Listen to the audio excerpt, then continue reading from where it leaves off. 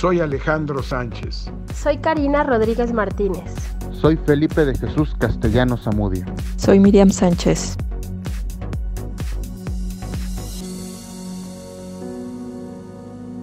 Esta foto la hice en una comunidad eh, tarahumara en Huachochi.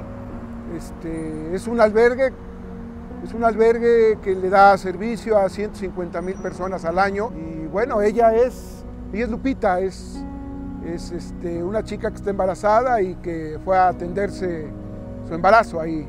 Esta foto eh, la tomé durante la cirugía que le hicieron al niño Gabriel eh, Rodríguez, al que le quitaron un, tumor este, que, que, tenía desde bebé. Eh, fue un, un, caso muy relevante dentro de, del IMSS. Bueno, esta fotografía la hicimos el año pasado. Fue sobre una cirugía innovadora, la cual le salvó la vida a la niña Ana Paula, que vemos en la, en la imagen la cual se le implantaron 350 gramos de, de hígado de, un paciente cadavérico. Sí, esta fotografía la hice, creo que fue en la primera operación que entré a hacer este levantamiento fotográfico. Eh, me impresionó mucho la sala de operación desde que llegué. No sabía que eran tantos doctores los que tenían que estar en, una operación.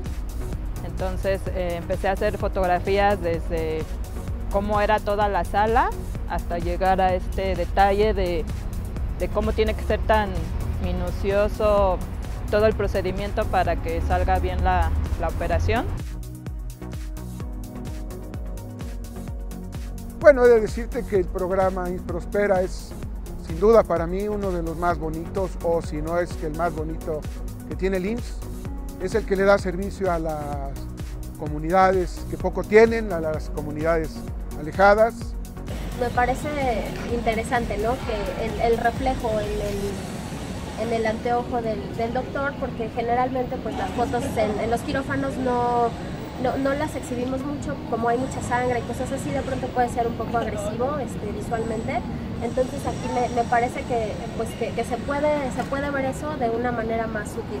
Lo que más me inspiró fue la niña, sonreía mucho y a mí me impresionaba que el hecho de, de que fuera una niña que acababa, acababa de ser trasplantada de hígado tuviera ese semblante.